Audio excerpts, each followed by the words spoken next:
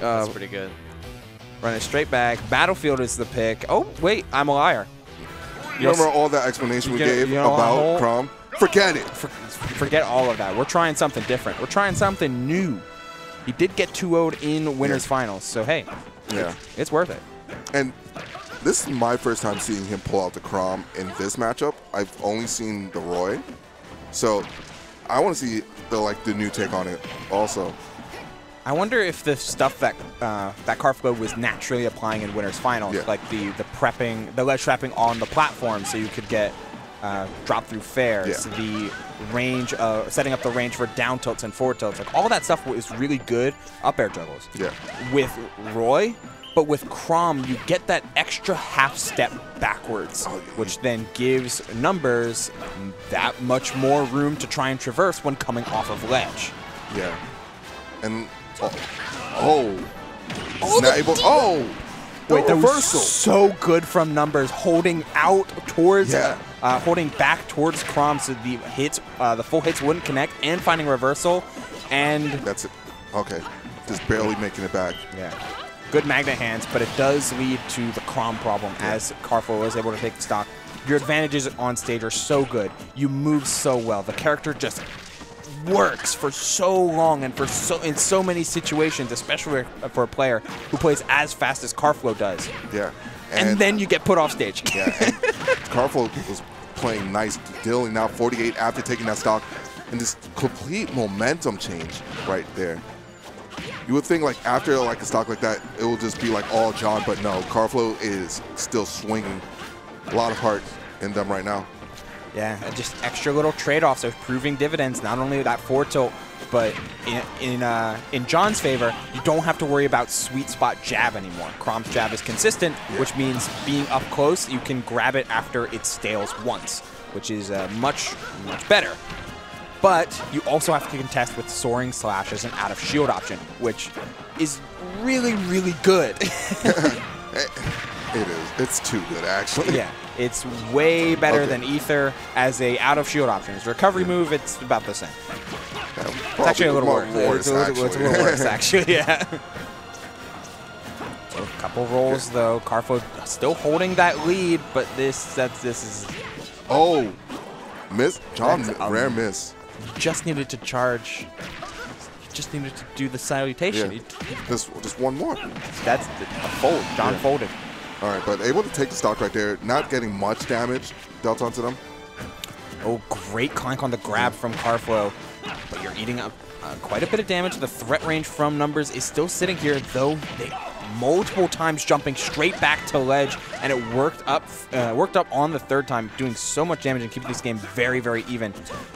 Yeah, and oh, okay, the let's trap right there, and not committing to the bear right. Surprising. That felt like it could have ended numbers right there, but now numbers having an, another lease on life. Yeah, I guess just not reacting thanks to the little bit less hit stun on uh, Chrom's jab. Uh, with Roy, you get Yeah. that extra hit stun rather because of the sweet spots. Can numbers find this reversal? No, a forward tilt comes in on the roll get up. Wow, the volleyball hits in. And Dare again, Dare? closing it out. They John hit him in looked the head upset. saying, yo, why you got hit by that? Why did he get hit by that? Like, what, like, what are you doing? I mean, this feels like such a desperate move from John. It's like, all right, I dash attacked, I'm scared, deep breathing. I'm just gonna jump in and down air. And you know what this loses to? Everything. But Yeah. I feel like that might have been like a prep for a forward tilt. That's a great emote, by the way. Can somebody, yeah, just just cut that out for me. Thanks. I'll make that an emote. That's a good one. Yeah, Thank- we'll just. You know, here's a few different frames. Yeah, Yeah. Get a real nice, real nice shot of that. Let's get into it. All right, Karflo starting off with a strong lead, as they did game one also. So, John is not stranger to making a comeback, Very nice. but a comeback like this, he he might be a bit foreign. Yeah, you, you gotta you got your work cut out for you, especially Chrom on Battlefield. These falling up airs are landing, the juggles are happening, and the the pressure is certainly there. But good discipline from John to avoid all of that soaring slash, the armor, but gotta watch that shield Yeah. as well. Yo, that was a that was like a giant skittle right there. It feels like numbers, especially in a position where things just keep going from bad to worse. Mm. You need to find you need to push the envelope a little bit more. It's instead of just waiting for Karflo to overcommit and fall off stage, it's a matter of, hey, I need to put you off stage now. I can't just hang out on these platforms and wait for you to like overcommit or whiff or overshoot uh, in a wrong place. It's, hey, uh, things need to happen here, and I've got to make them happen. Good drift in order to avoid that with a counter. Yeah, and that that lasted forever. Okay, just shooting the sun salutation to get back. And if I'm John, I'm definitely like trying to download any situation. Even if they lose this game, they have do have another set to play with. This is just now research gathering. Yeah. it's You do play to win, but Yeah, everyone preps against Roy Yeah. so much that Chrom offers a different beast as well uh, with that uh, with that tech chase down tilt. So good at Karflo at staying disciplined on the ground and only committing to the air when they know they can pressure some of these juggles up air into down air. Oh, I, okay. Yeah. Numbers avoided the soaring slash follow up, but I wanted it so bad. you woke up and chose violence. yeah, it would have been sick. we don't see much Chrom anymore. Uh, Rivers has effectively dropped the character in a lot of ways, and so uh, and Mr. R should stop playing the character. but that jab back air properly reacted to Karflo, showing that they are just as effective so long as you are very particular when about when you go off stage. All right, so we're getting the small battlefield. Oh, John's John, home. yeah, John's home. We call it Xeno too. Okay. This is the Xeno venue. This is the Xeno stage. Yeah. And uh, it's where John was born. We just didn't know it. Yeah, until the, you guys until didn't know. it. the stage. Surprise! Yeah, this is, that platform right there. That's where he was baptized. That's, that's where it is.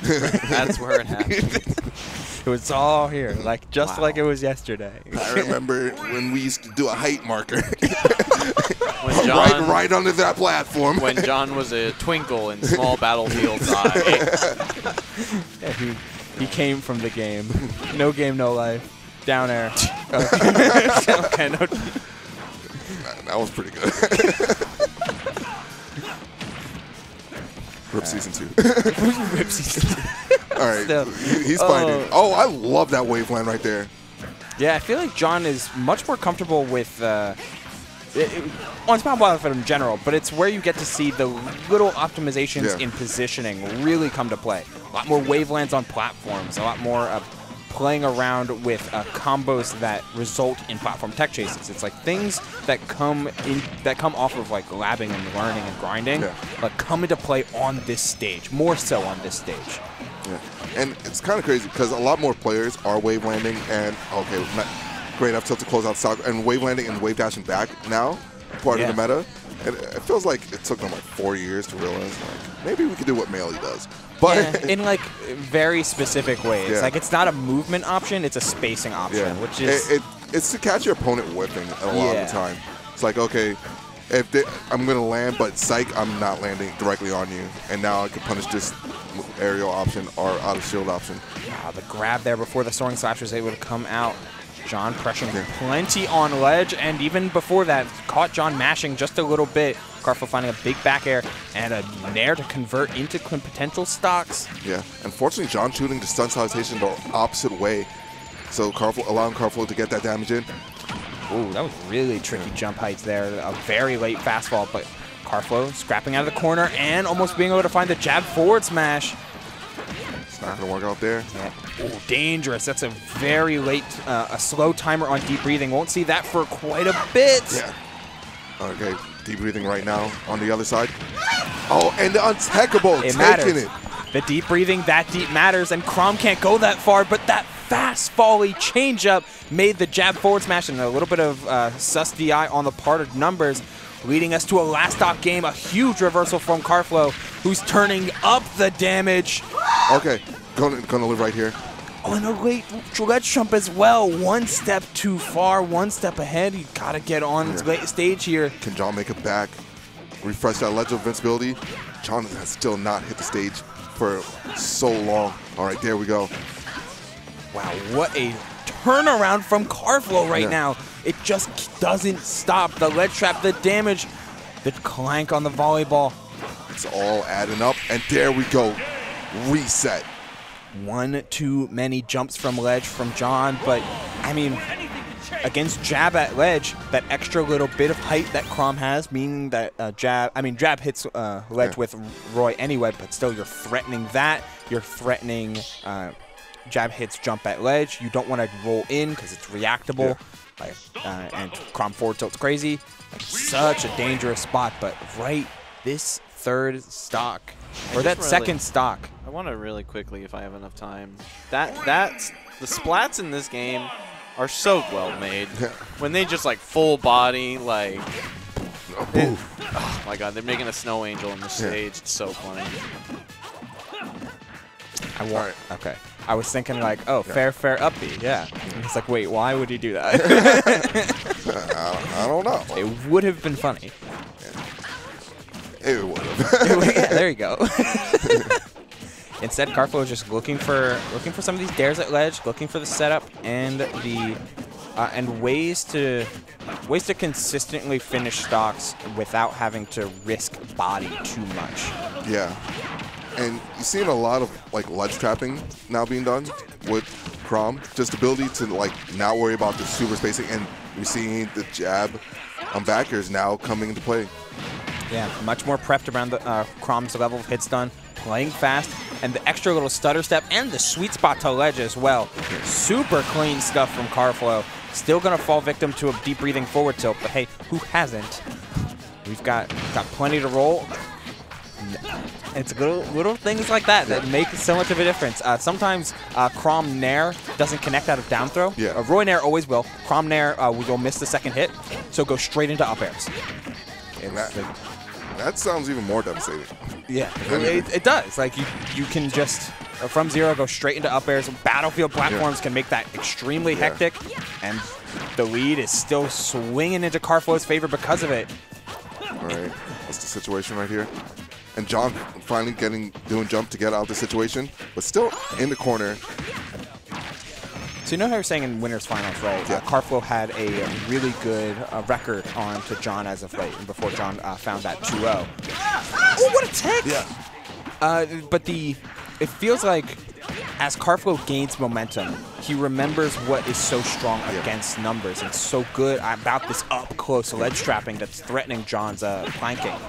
I feel like each hit he gains recollection. Yeah, And, like his memory comes back. It's like a, it's like one of those memory, like you lost your memory in the beginning of the game, and you have have to gather the pieces. yeah, you got Every every hit, it's like it's like oh, I can do this against you. Yeah, you flip up the cards, you. Yeah. match the uh, you, You match, match the faces. It's like, all right, yeah, this Oh. works. This is this is something that we uh, this is something that you that has worked before, and I can do again and, and again and again as all these up airs keep connecting. Another big dare coming out from John though is a, a, I mean these down airs just keep on landing for numbers. But it feels like oh, as num as uh, Karflo gains momentum, sometimes John ends up just reverting into some older ways and some older habits that work against a lot of players, but stuff that Karflo is already walked in Yeah. prepared for. It, it definitely feels like he's being more desperate. Yes. Yeah. It's, It's like some stuff in his bag that would have worked against other people. It is just not working against Karflo. He's saying, I've seen these tricks, I've watched the VODs, and they are just not working on me. I'm prepared for the numbers experience. Are you prepared for the Karflo experience? That runoff backer coming in just in enough in the nick of time, not choosing to punish a sun salutation, instead choosing to play safe. At you're at 77. Any hit could lead you off stage, and any hit could lead to an edge guard. But you just can't afford at this point. That's the situation right here.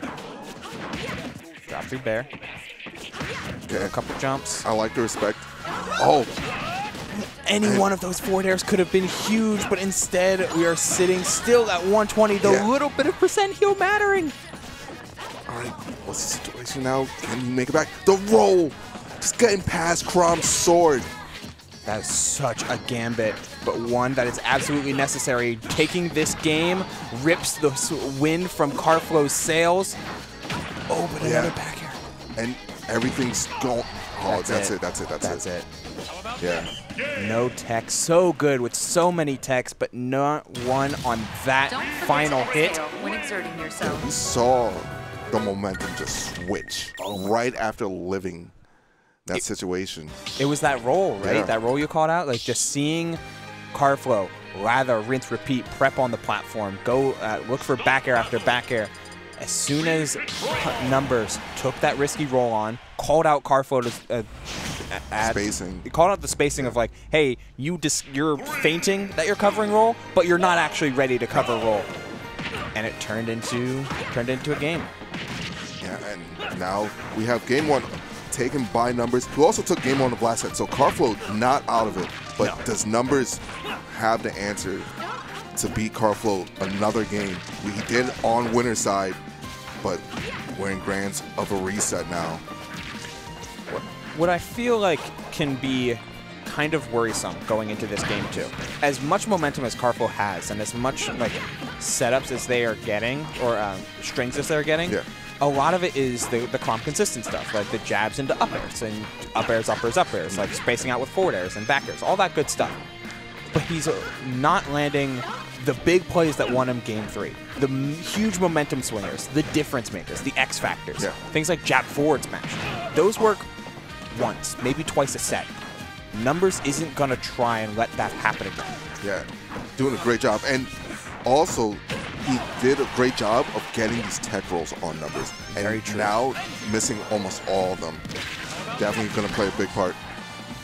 Yeah. The dangers of a of a character so fast and uh, and the tech roll being their main source of damage and their main source of stocks, it forces a mini game instead of a straight confirm. And while Chrom has straight confirms, they're all on they're they're all around jab, which numbers hasn't been hit by in a good while, but though sticking their legs out into that huge back air, Karflo taking the first stock, getting the chance to play with a little bit of a lead and extending it.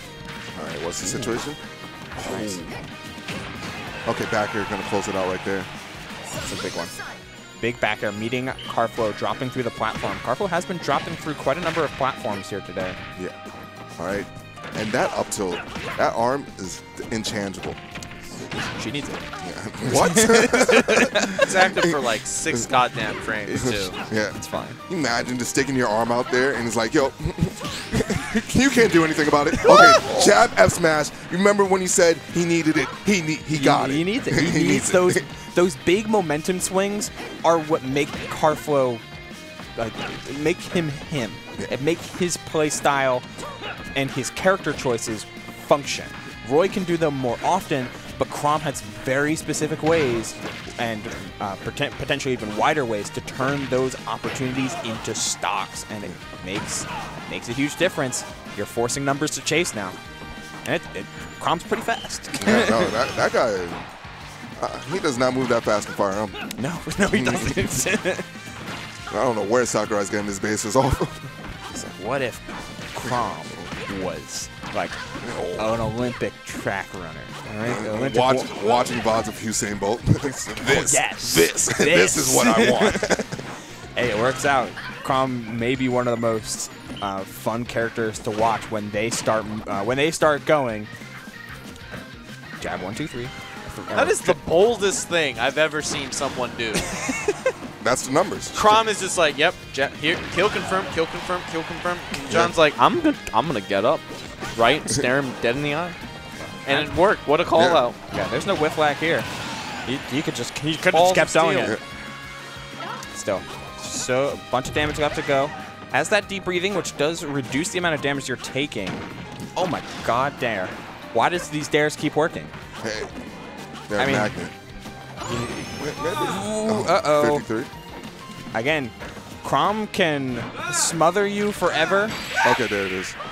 And, and that, doing so. yeah, and you saw John go for the crouch right there, and Chrom's jab is able to cover that hitbox.